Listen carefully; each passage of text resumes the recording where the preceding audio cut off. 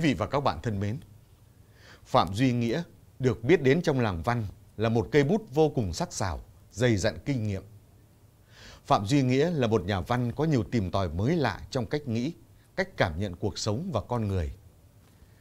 Từ sau tác phẩm Cơn mưa hoa mận trắng, giành giải nhất truyện ngắn 2003-2004 của Tuần báo Văn nghệ Hội Nhà văn Việt Nam, Phạm Duy Nghĩa đã không ngừng tiếp tục chứng minh cho khán giả thấy tài năng của anh bằng việc cho ra đời những tác phẩm vô cùng đặc sắc. Đặc biệt, phải kể đến chuyện ngắn khí lạ. Đây là tác phẩm độc đáo, mang những tình tiết kết hợp đan xen giữa thực và ảo, quá khứ và hiện tại, khiến bạn đọc hẳn sẽ phải đọc và ngẫm lại nhiều lần để có thể hiểu hết câu chuyện cũng như hàm ý mà Phạm Duy Nghĩa muốn truyền tải.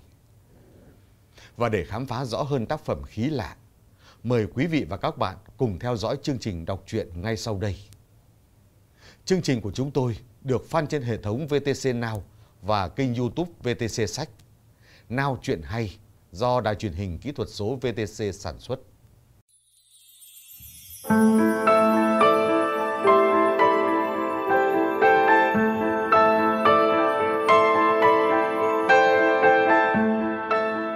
Khí lạ của tác giả Phạm Duy Nghĩa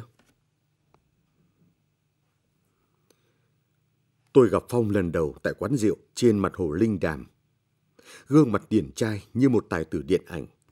Cùng vẻ phong lưu phảng phất nét u hoài của anh làm tôi chú ý.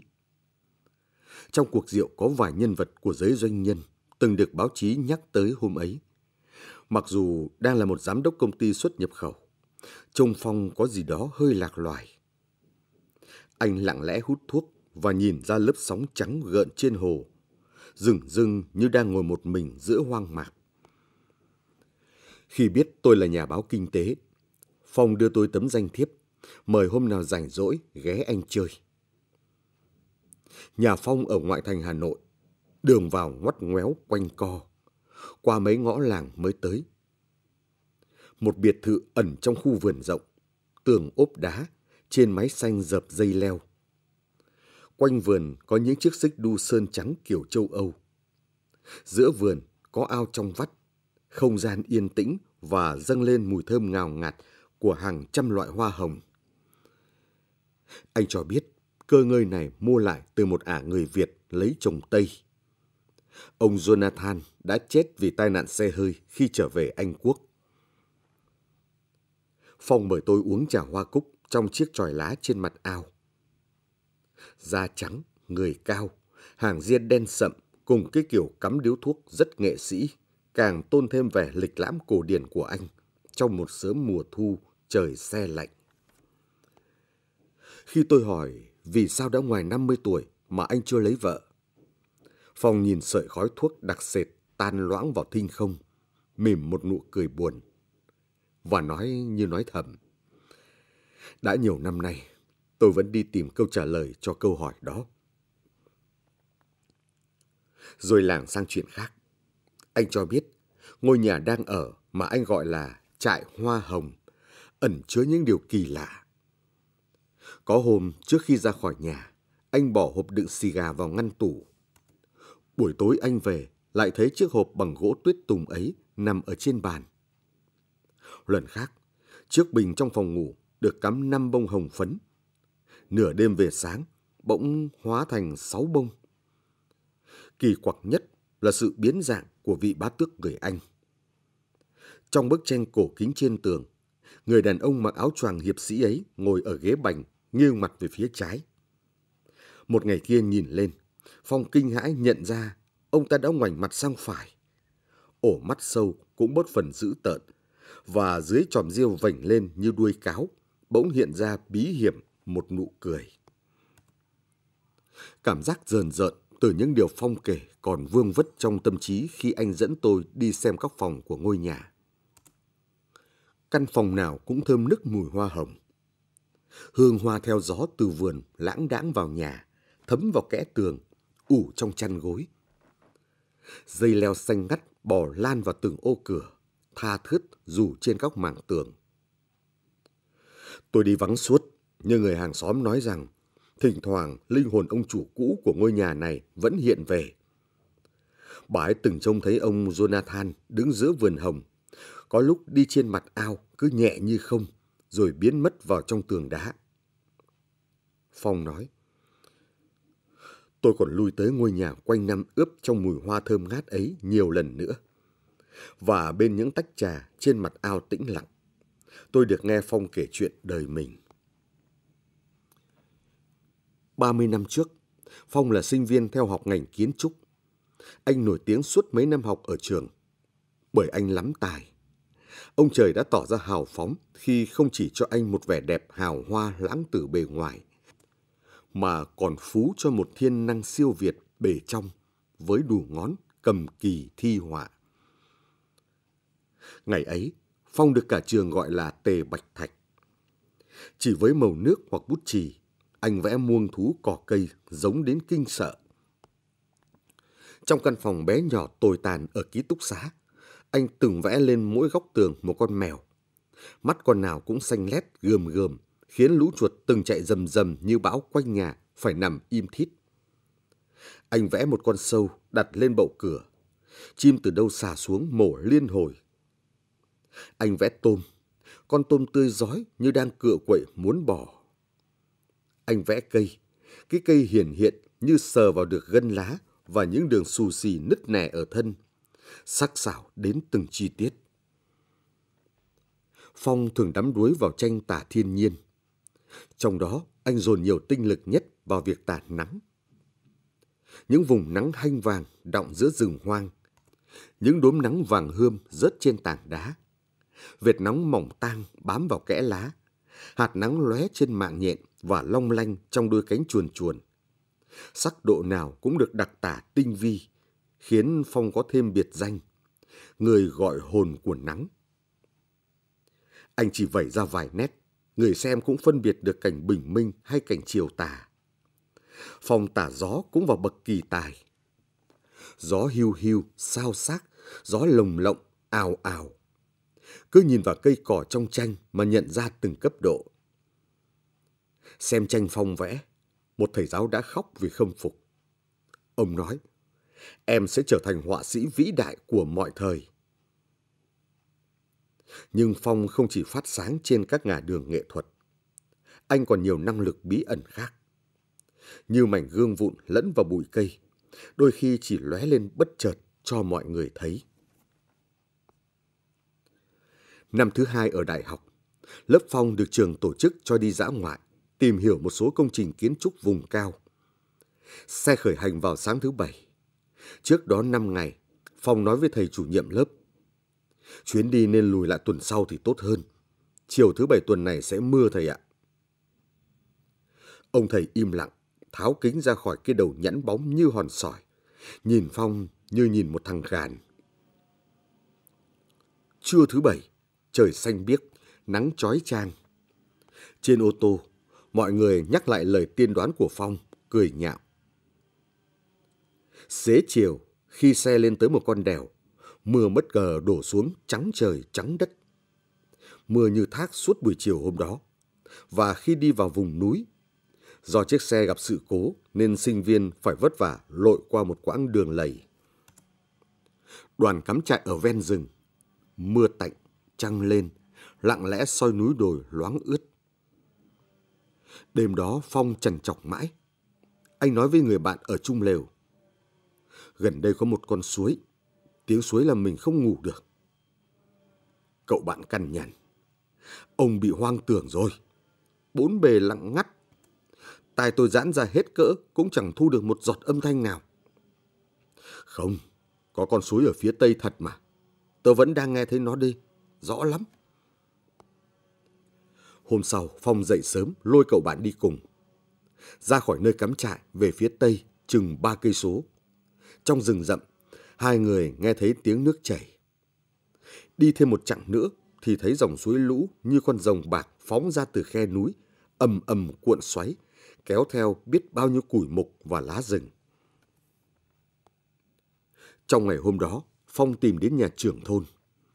Ông ta cho biết đây là con suối có độ dốc lớn nên mỗi lần mưa bão là lũ về rất nhanh. Cây cầu khỉ bắc qua suối năm kia đã bị lũ cuốn trôi. Dân ở thôn này muốn sang thôn bên phải đi đường vòng qua hai quả núi. Mùa lũ trước, có đứa trẻ con liều mạng qua suối đã bị xoáy nước nuốt chừng như nuốt một cái lông gà.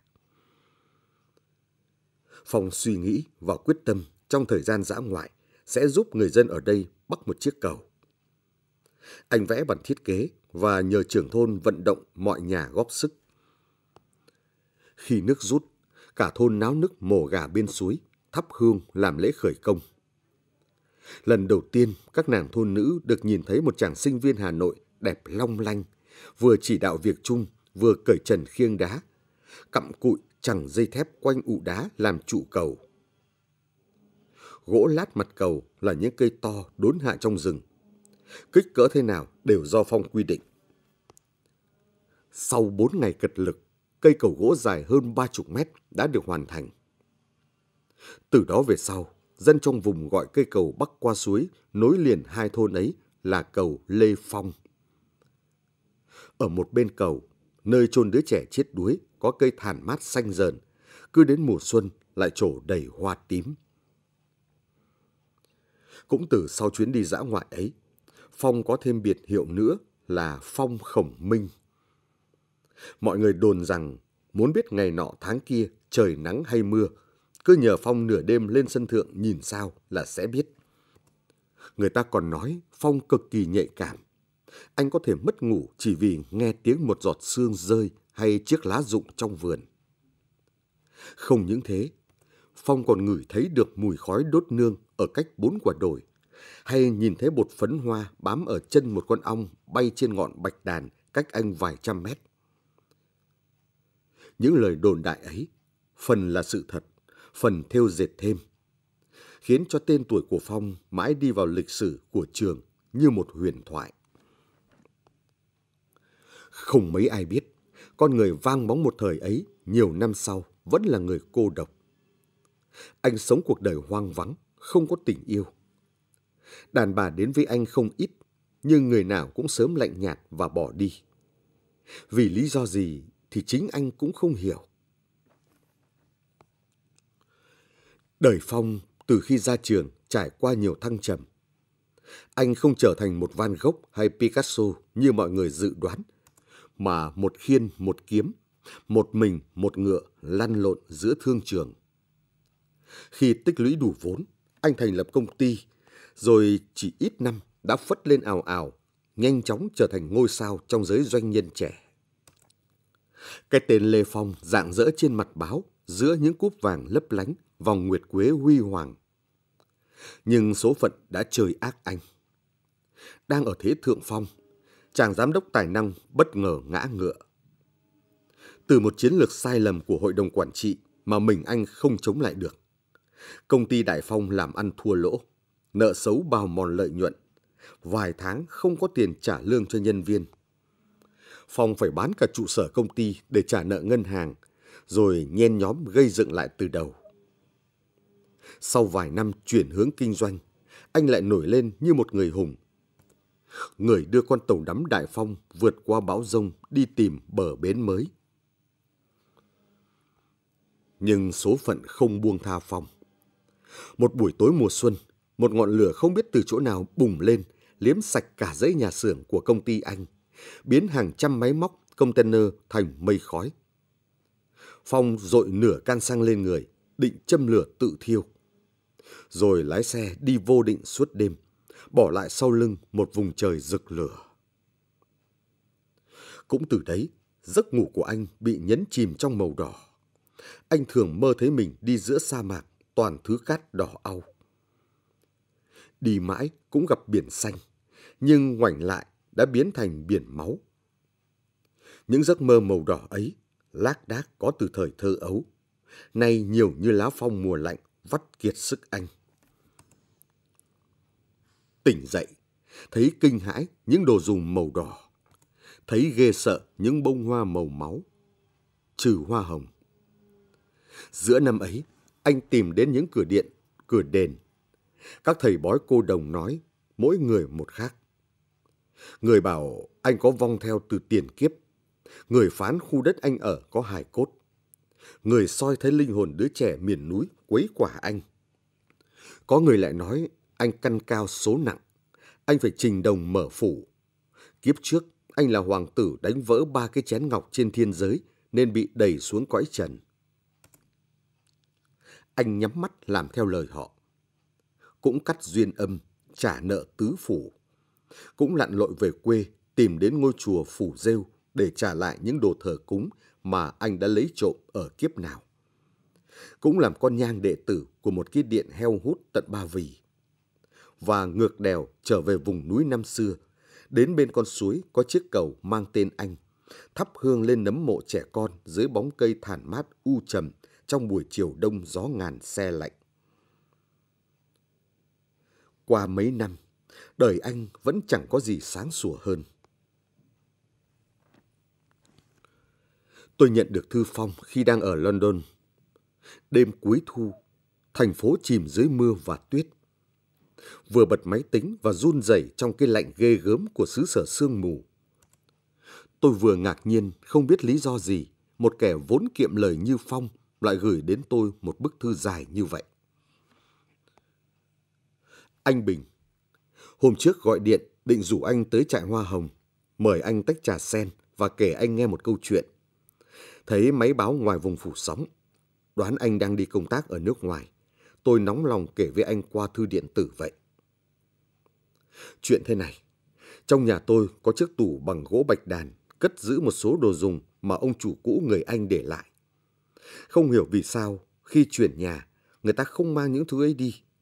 Còn tôi thì chưa lục lọi vào đó bao giờ, bởi nó là vật sở hữu của người đã khuất. Nhưng một hôm, Do phát hiện ngăn tủ bị mối sông, tôi đã mở nó ra và thấy ở đó có một cuốn sổ bìa nâu, một tấm bia đá khắc dòng chữ Hán dài 60 phân cùng vài thứ đồ lặt vặt khác. Chữ Hán thì tôi mù tịt, nhưng tiếng Anh của tôi khá tốt, nên khi tò mò lật dở cuốn sổ, tôi sững sờ bắt gặp một trang viết rằng trong thửa đất của trại Hoa Hồng có một lăng mộ cổ dù cuốn sổ bị mối đục lam nham nên mất chữ.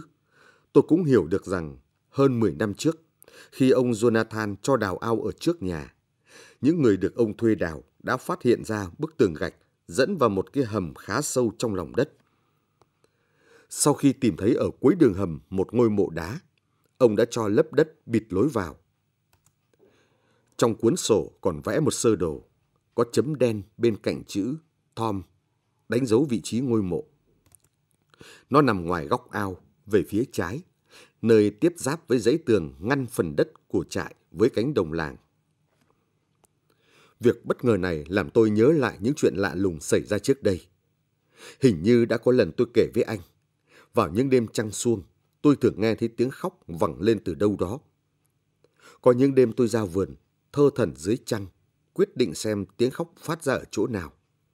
Cứ đi hết mấy vạt hồng nhung, đến bức tường bám đầy cây vảy ốc thì tiếng khóc nhỏ dần, rồi bật đi như tiếng dế trong lòng đất.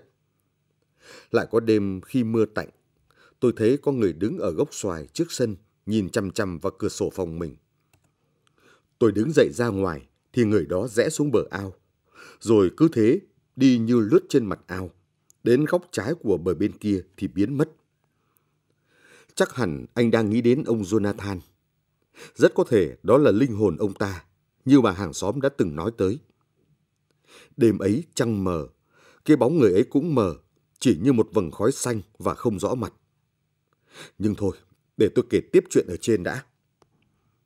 Ngay sáng hôm sau, tôi thuê thợ trong làng tháo hết nước ao, rồi đào đất ở góc ao. Đến non trưa thì thấy lộ ra cửa hầm giữa hai tường gạch cổ.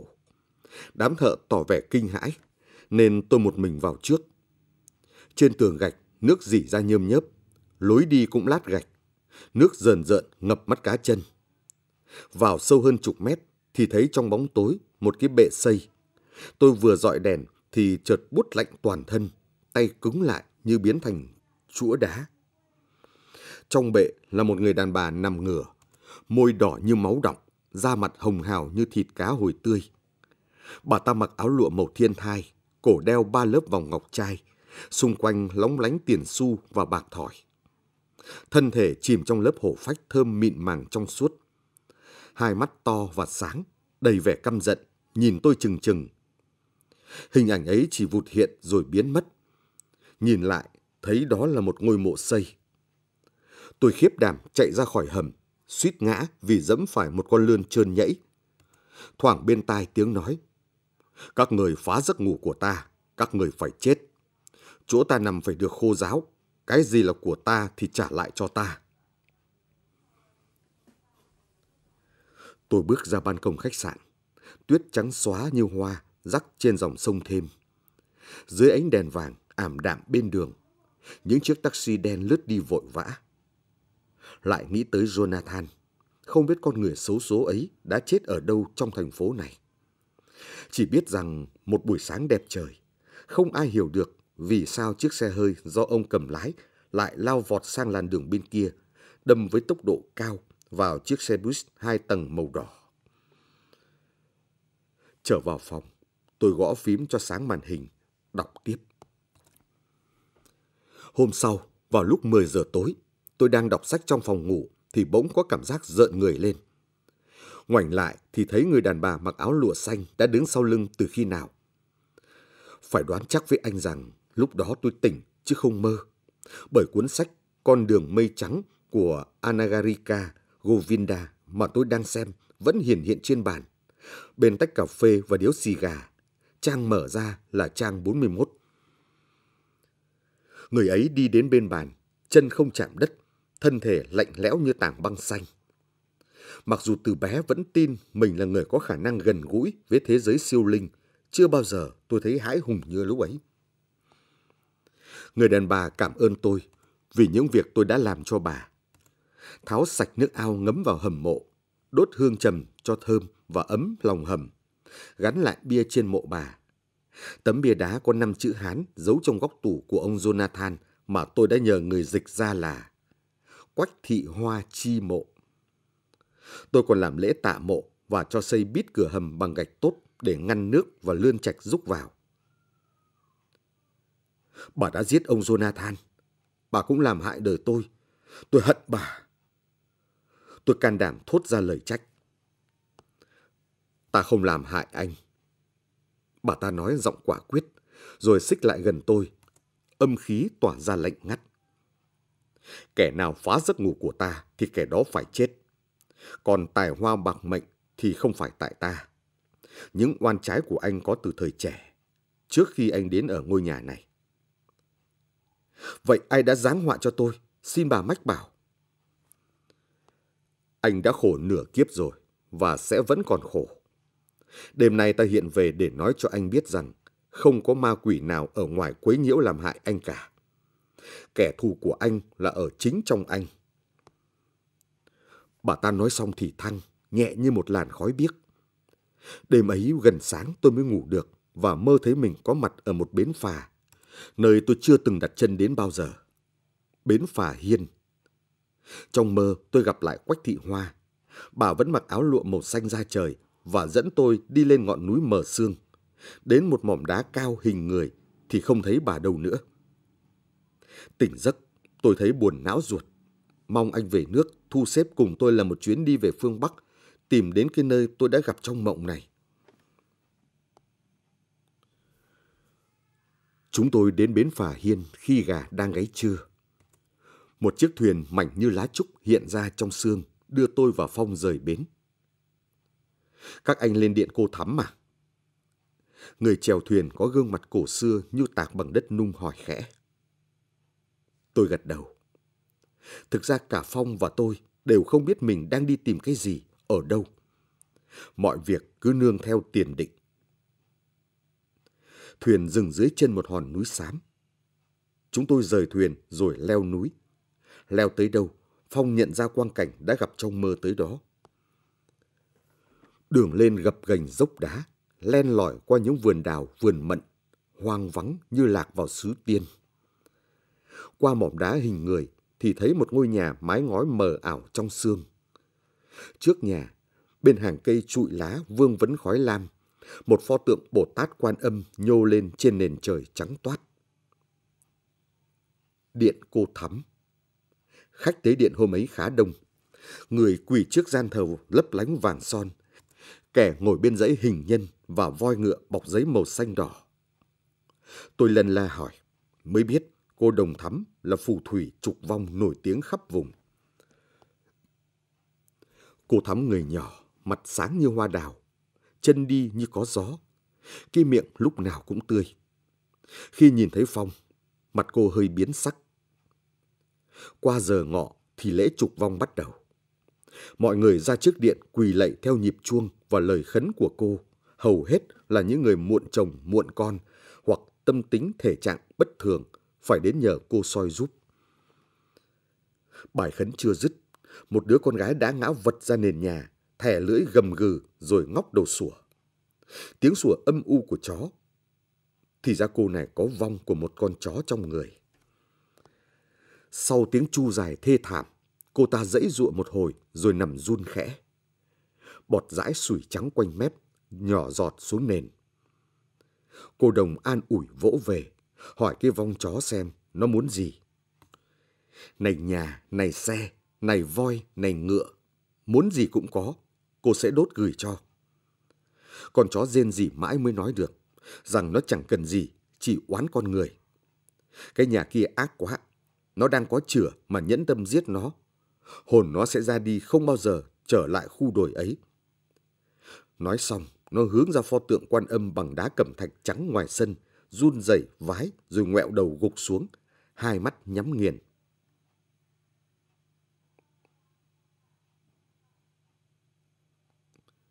Khi cái vong chó tủi phận đã lìa khỏi thân người, đứa con gái ngồi dậy khóc nấc lên. Nhà em ở trong đồi, hôm ấy là mùa hè, biết bố em có ý định mổ chó. Con chó trốn lên nương sắn cả ngày, chiều tối lại mò về, chui vào gầm giường nằm. Bố em với lão hàng xóm lôi nó ra. Nó chảy nước mắt, hai chân trước chắp lại như van xin. Bố em vẫn thọc dao chọc tiết. Mắt nó dại đi, nhìn em như oán trách. Trời ơi! Trông ra mặt sông bàng bạc xương thấp thoáng sau cánh rừng trụi lá. Tôi hoang mang nghĩ. Thì ra con vật cũng có linh hồn. Nhìn sang Phong, thấy anh vẫn thản nhiên, như không có gì lạ lẫm. Mải xem người chó, không ai để ý đến một người đàn bà đang quằn quại trước hiên. Cô đồng thắm nhìn kỹ chị ta thốt lên. Con đỉa! Người ấy chậm chậm bỏ ra sân. Đêm trước trời mưa, sân còn đọng nước, nên chị ta bỏ đến đâu, người nhà cô đồng trải chiếu hoa đến đó. Cái đầu ngo ngoe vươn dài về phía trước, thân người mềm nhẽo giãn ra hết cỡ, rồi co lại như sợi dây chun. Nhìn cảnh ấy ai cũng thất kinh. Đúng là cách bò của đỉa. Con đỉa bò đến trước pho tượng trắng thì chắp tay vái lia lịa. Trong khi cô đồng tiến hành cuộc thương lượng, hỏi nó muốn gì, thì cô bạn đi cùng người đỉa xoe xóe kể rằng Chúng em sống ở đồng ruộng ao đầm, quanh năm làm bạn với đỉa. Những ngày mưa ấm, đỉa nổi đen xì cả mặt ao. Chẳng biết bạn em dùng thuốc trừ sâu triệt phá tổ tông họ hàng loài đỉa thế nào mà chúng oán hờn. Vong hồn con đỉa khốn nạn này lại nhập vào người, làm cho mấy năm nay không đẻ đái gì được. Hình như nó vào, nó hút, làm teo hết trứng. Cũng từ đấy, da thịt bạn nhão ra, người nhũn như không có xương, biết đàn hồi co giãn. Lại thường ngủ mơ thấy mình biến thành một con đỉa trâu lực lưỡng, áng chừng hai tạ, lặc lè mang một bụng trứng trong người. Cuộc thương lượng với vong đỉa kết thúc nhanh gọn. Nó đồng ý ra khỏi người chị kia với điều kiện đốt cho nó một hình nhân nam lộng lẫy làm chồng. Nguyện vọng ấy được đáp ứng tức thì. Ngọn lửa xanh lét bùng lên trong lò đốt mã. Cô bạn của người đỉa dài giọng mỉa mai. Là đỉa lại muốn lấy người làm chồng, lại còn mê dai đẹp. vô khỉ. Trong số khách đến cửa cô hôm ấy, không phải ai cũng có vong nội, tức vong ngụ trong người. Có mấy ca chỉ là vong ngoại, tức vong theo. Một ông thầy trẻ bắt rắn chặt đuôi mút máu tươi. Bị vong rắn hổ mây cuốn mấy vòng vằn vện quanh thân như sợi dây chảo. Một ả chơi bời năm nào cũng đi nạo hút. Bị các vong hài nhi đeo bám chĩu chịt trên người, khiến ả vẹo người như cây đu đủ mang chùm quả sai. Đuổi vong ngoại thì dễ, trục vong nội khó hơn. Cô Thắm nói, có những vong nội rất tinh quái. Khi thấy mình soi, nó tìm cách nhảy ra ngoài hoặc trốn vào trong tóc. Nếu nó không trốn đi đâu được, thì ngón tay mình sẽ có cảm giác tê như dòng điện khi sờ vào huyết bách hội ở trên đầu. Chiều gần tàn, mà người chờ trục vong còn nhiều. Lại thấy Phong vẫn tỉnh táo như không. Tôi nóng ruột nhờ cô Thắm soi cho anh trước. Để được nể hơn, tôi xưng là nhà báo. Chẳng ngờ cô nói. Nhà báo các anh toàn xuyên tạc, không hiểu gì về tâm linh, lại nói chúng tôi lừa bịp. Ở đây không tiếp nhà báo. Nói rồi cô quay gót. Đi được vài bước, chợt ngoái lại bảo Phong. Anh vào đây. Cô đưa Phong đến trước bàn thờ mẫu, đặt tay lên đỉnh đầu anh khá lâu. Vẻ nghĩ ngợi, đăm chiêu. Bỗng cô rụt vội tay lại, mặt biến sắc. Rồi nhìn thẳng vào mắt anh, nghiêm nghị nói. Anh thường ngủ mơ thấy máu phải không? Đúng vậy.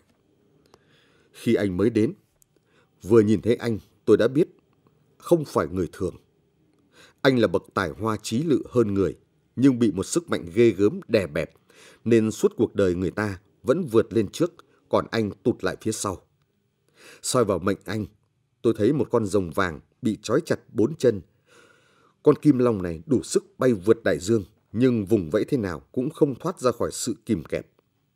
Anh chính là con rồng đó. Tôi chưa hiểu. Cái đã làm hại đời tôi ấy là vong người hay vong vật?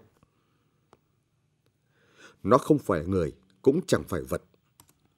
Mấy thứ tà ma vặt vãnh đó chỉ như những tàn cho lơ lửng ở ngoài, không làm gì nổi anh. Cái này thì lạ. Tôi chưa từng gặp. Nó là một năng lượng trời đất sinh ra, tích tụ lâu ngày thành một khối kinh tởm như máu và bám vào đời anh từ thuở anh lọt lòng mà không ai giải trừ cho anh được. Anh sẽ phải sống chung thân cùng với nó. Nó đi theo tôi hay tồn tại ở đâu vậy? Nó đang ở trong chính người anh. Phong cúi đầu, câm lặng. Trên suốt quãng đường xuống núi, tôi và Phong không nói với nhau câu nào. Mắt anh thăm thẳm buồn. Đến triền cỏ ở chân núi, anh đột ngột quỳ xuống và cúi lạy sát đất. Hồi lâu không ngẩng đầu lên. Trên cao, pho tượng Bồ Tát Quan Âm lồng lộng giữa trời mờ mịt khói sương, Đài sen trắng muốt. Một tay bắt ấn tam muội, tay kia trao nghiêng bình nước cam lồ. Một buổi sáng mùa xuân rưng rưng sương lạnh, có người đàn ông một mình chèo thuyền ra một hòn đảo trên hồ Thác Bà. Sau khi giấu kỹ thuyền trong đám lau sậy rậm rạp ngập nước hồ, người ấy leo dốc về phía tây và nằm xuống bãi cỏ trên sườn đảo. Thông thả châm một điếu thuốc, vừa hút vừa nhìn ra trời nước xanh thẳm mênh mông. Rồi nhắm mắt, lặng im, không bao giờ dậy nữa. Sau mấy ngày, từ xác anh nhẹ thoát ra một luồng khí lạ. Khí chảy thành dòng ngoằn ngoèo, đỏ như máu tươi, bốc lên thành khói, làm xém cả bụi cây, rồi tan loãng vào không khí. Phải đến hơn một tháng sau mới có người lên hòn đảo kia và phát hiện ra bộ xương dãi dầu trên cỏ. Vạch các khớp xương trên hải cốt, thấy hằn lên những vệt đỏ bầm. Tôi được nghe chính Phong kể lại chuyện này trong buổi gọi hồn anh tại điện cô Thắm. Hôm ấy, Phong nhập vào em gái anh. Hỏi được chôn cất ở đâu. Anh không cho biết. Chỉ cười lanh lảnh như tiếng chuông đồng. Nói rằng bây giờ anh được giải phóng rồi. Chả phải vương vấn gì đến anh. Anh đã về cõi trời Tây. Đường mây nhẹ gót. Ngày Phong đột ngột mất tích. Công ty Đại Phong thông báo rằng giám đốc của họ tự mình lái xe đi trong một đêm gió rét rồi không thấy trở về. Đôi lúc tôi nghĩ, chẳng biết cái linh hồn đã gặp ở điện cô Thắm có phải Phong thật không? Hay chỉ là một cái vong nào đó ưa đùa bỡn? Chơi với Phong, tôi chưa bao giờ thấy anh cười thành tiếng. Biết đâu, anh còn sống trên đời. Trại hoa hồng nay đã trở thành hoang phế. Lần cuối cùng tôi đến, dây leo thường xuân đã phủ kín tòa biệt thự, xanh mơn mởn như một chiếc hộp nhung. Trên bờ tường và dãy xích đu trắng dọc bờ ao, dây tử đằng cũng rủ lá xanh dờn, đẹp như cảnh điền trang ở một xứ Bắc Âu nào đó. Bốn bề thanh vắng, tịch mịch, chỉ có ngàn bông hồng đỏ thắm vẫn rì rào trong nắng xuân.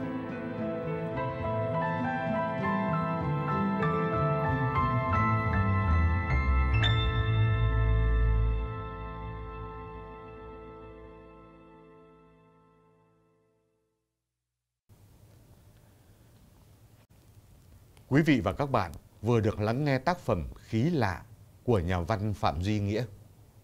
Tác phẩm là một câu chuyện về cuộc đời chàng trai tên Lê Phong. Là một người tài năng, nhưng Lê Phong lại có cuộc sống đầy biến cố, thăng trầm. Trại hoa hồng ngày ấy giờ không còn ai chăm sóc, nay đã thành hoang phế. Chẳng ai biết Lê Phong đã chết hay vẫn đang còn sống đâu đó trên cõi đời này. Quanh tòa biệt thự ấy giờ đã mang một vẻ cô quạnh, tĩnh mịch. Duy chỉ những cánh hồng đỏ thắm vẫn rì rào trong nắng xuân. Quý vị và các bạn đừng quên đăng ký kênh youtube VTC Sách Hay và Nao Chuyện Hay để cập nhật những video mới nhất do Đài truyền hình kỹ thuật số VTC và Nhà xuất bản văn học phối hợp sản xuất. Bạn tìm gì trong mỗi trang sách? Tìm sự đồng điệu trong mỗi trang tự truyện hay một trải nghiệm mới trong mỗi áng văn. Nuôi dưỡng tâm hồn, tìm lại tuổi thơ cùng văn học thiếu nhi. Hóa thân vào một người khác trong những cuốn trinh thám nổi tiếng. Những tác phẩm được thể hiện bởi những giọng đọc vàng. VTC Now hân hạnh giới thiệu đến với quý vị và các bạn kho sách nói. Tất cả có trong chương trình sách hay phát sóng 21 giờ hàng ngày trên hệ thống VTC Now và 23 giờ thứ hai, thứ tư, thứ sáu, chủ nhật trên kênh truyền hình VTC3 Sách hay, nơi chuyện kể đặc sắc chạm đến tâm hồn.